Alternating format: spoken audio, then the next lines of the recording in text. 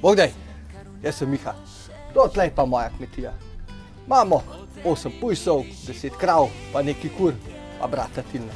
Živ, a v te kaj spil? Rad imam vse živali, pa rad imam svoj traktor. Bravo mu, Mihi mašin, ha, a ne, kaj je moj. Imamo jabučen sok, ruškov sok, lahko tudi kaj bolj močnega. Pomorančen sok, na primer. Ali pa takrat, ko še beso. Dosti je tila. Nimava pa gospodine. Sam, a to ste pa videli, a ne? Šila noter. A si električno vzel? Ja, jaz ne vem, koga je to Je. meni. No, ker sva mislila, da vam imela tako več možnosti, ker sva se oba prijavila, a ne, do, do, več, Ja, do več je. izbire. Ja, koga? To je to. O, živijo.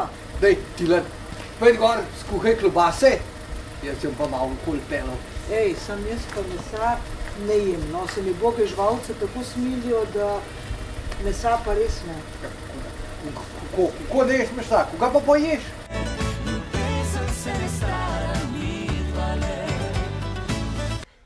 Ko se je lahko to zgodilo, da ne je mesa, pa se čez zmešana?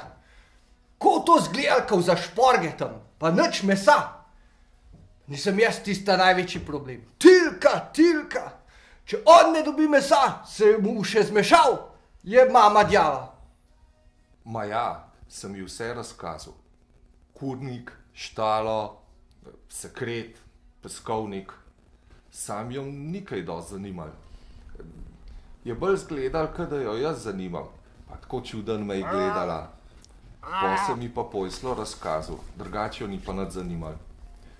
Pa tudi takrat me je bolj čuden gledala. Ja, no, jaz sem prvo pisala Mihatu, ki mi je bil všeč tako na vides. In pole zdaj, ko sem par dni to uživo, mi sploh ni več toliko všeč. Zato, ker je tak frajer, si misli, kaj da je, se sam sebi zdi lep in kaj, če dobi kakšno mlado, kaj bom pole jaz, ker bom šla nazaj v šolo ali kaj. Ma, moram pa priznati, da se mi puno bolj, dosti bolj se mi dopade uni drugi tilen. Ma je tako prijazen, ma je tako priden, ustražljiv in še pameten. Ma zna on tu iz kompjuterji, ma mi lahko naredi še spletno učilnico. Je Maša kar pridna, ja. Je veliko naredila, odkar je tle. Nisem vedel, da imajo vegetarijanci toliko moči vse. Ni švoh, ni švoh. Je pridna moja, je pridna. Ja, ja, ja, ja. Jo, Maša, koga pa zdaj to? Miha, jaz ti moram nekaj povedati.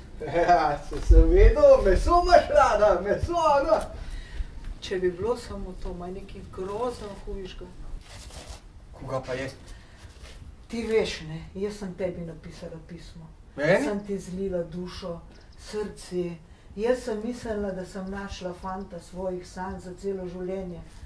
Ma zdaj, jaz ti moram priznati, meni moje srce bije za enega drugega. Ko, koga govoriš? Koga govoriš, da se meni prijavlja? Ja, sam meni se mi dopade Tilan. Ma jaz se bojim, da sem se zaljubila v njega. Koga? Moj brat?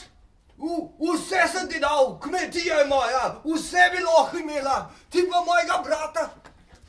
Tilan, pojď sem, Ko, koga to govori, koga to slišim? Res je, vse, kar govori, je res. Vem, kaj vse puščam, ampak poslušati moram svoje srce. Ja, ja če, če pa tako, pa vama pa želim sam srečo. Hvala ti, brat. Hvala, Miha, da razumeš. Ja, koga? Špoj nehal meso jest? Ah, ne, se veš, da je to mama zberi govorila, zato da tebe prestrašila.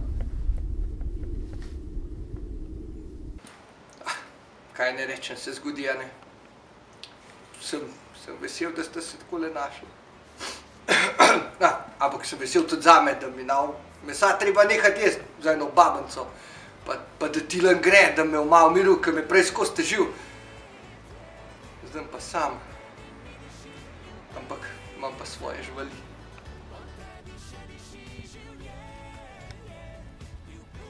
Zakva!